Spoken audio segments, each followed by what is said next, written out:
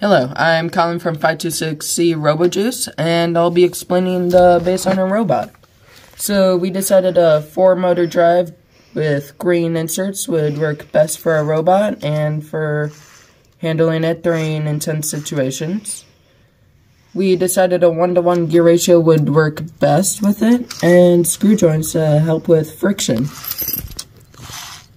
Hi, my name is Austin from Team 526C and I will be explaining our intake. So our intake starts up, that's out of size. And if you put it down,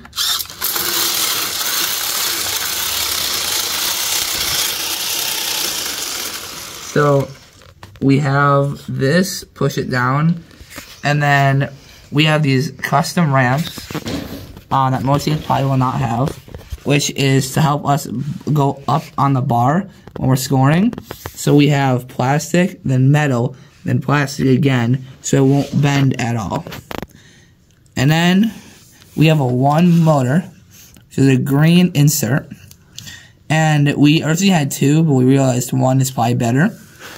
And then if we come right here, where you see all this weight, that was with earlier, our back was too heavy, and our uh, climb couldn't quite work yet. So we added this to, ba to balance it out. And then when it comes to doing the tri-ball, it does it pretty good. Uh, it, it's in there, and if you take it out, uh, it comes up pretty good. And then right here we have this rubber band to help hold it in there, so it will will not come out. And that's the intake. So I'm uh, Mark from 526C RoboJuice, and I'm here to explain the hang and the blocker mechanism. So with the hang, I basically just cut these plastic pieces that are uh, have a little ramp on them. Uh, so it kind of just ramps up the bar like uh, this. And then the standoffs, these little tiny standoffs are there so that when it does go on the bar, it kind of more uh, balances it and makes it uh, stay in place. Otherwise, like you can see here, the plastic isn't really fully touching and the plastic's mostly just to get up there, and that's because uh, we see we saw that the balance was a little bit uh, too low when that was there, so we added the standoffs, and um, it's pretty good. It gets off the ground. It's a simple just drive up, and um, so that's the hang, and then now we're gonna move on to the blocker. So now we're moving on to the uh, blocker. So one of the things we added was this one singular motor here, and that's so that uh, this thing can go up and down so like when during auton, we can obviously flip the robot around, and when we bring this down, it goes under a lot better without jumping. That's meant for, yeah, obviously before when it was up like this with a lot of rubber band tension, it would jump. So I think that was a pretty good addition. And it also helps us with blocking. Like before, it goes down kind of easy. We have more rubber band tension, but um, when we hit it, it would go down. But now I can make the button go up, so it's a lot harder to go down. So I can actually like kind of throw it at the blocker, and it don't really move. And with the string, it was a really good idea because before we had plastic, and the plastic seemed to snap and be a little bit more weak. This, the tri-ball kind of gets absorbed in it and bounces off a lot better than the plastic did. So that's our blocker. Now we're going to move on. Hello, I'm Colin from 526C once again, and I'll be explaining the wings. Up first, we have this uh, ramp on the front side of the wings that help push up the tri-ball over the bar. And then on the back side of our robot, we have a slightly bigger ramp that also pushes up the tri-balls. For the wings, we decided to do locking wings because we had problems with the wings being pushed back in by the tri-balls when we attempt to score. And when they're opened up, they lock quite easily. But when they close, they close quite well as well. So uh, I'm going to be explaining our skills strategy. Basically, for uh, driver skills and autonomous skills, it just starts the same way with um, the flywheel starting and the tri-ball or the intake falling down onto the tri-ball.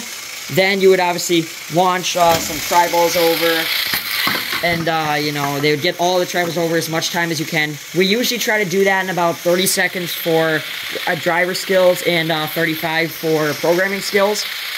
Um, so during programming skills, uh, the flywheel would stop. It would drive over here, push in the two tri balls, and then it would drive backwards like this. it would bring uh, the thing down, drive backward like so. It would turn over here. Um, it would go up here like this. Then it would open the wings and drive forward, drive backward. Then it would turn here, go again. And we go at a little bit of an angle here to kind of funnel and make sure all of them get in. And then we would go backward, forward, backward again, and then forward again, and then stop the code. And then, oh, okay, and then for um, driver skills, we would do the exact same thing, except uh, when we're over here and done shooting all the tri balls, let me get back over here, but when we get over here, and get done shooting the tri balls, we'd score those, and then I drive over here. There's usually a middle one right here that I would intake, and then I would drive over here, go through this side, and then I'd go over here, uh, flip around where the intake is, and push as many in on the side with the tri-ball that'd be in my intake. Then I'd drive up over here, and uh, do the same thing with the wings open and pushing in. And that's our uh, skills. Hello, my name is Austin, and I am back. So today we're going to play on the flywheel. We have two blue motors. We have a quick swap, and then we have a speed ratio with the smallest gear to the biggest gear. They are the thin gears, and then we have a weight on there to stop it from slowing down, so we're able to shoot faster. Uh, the spacing had to be almost basically perfect to get this flywheel to work. Then we have two of the medium-sized flex wheels. So you put them together to get the right surface area so that it wouldn't, the travel would not hit the gears as we were launching to get the most accuracy as we can.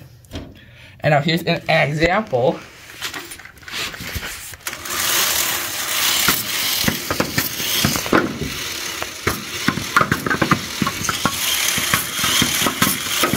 See you at Worlds. Hopefully.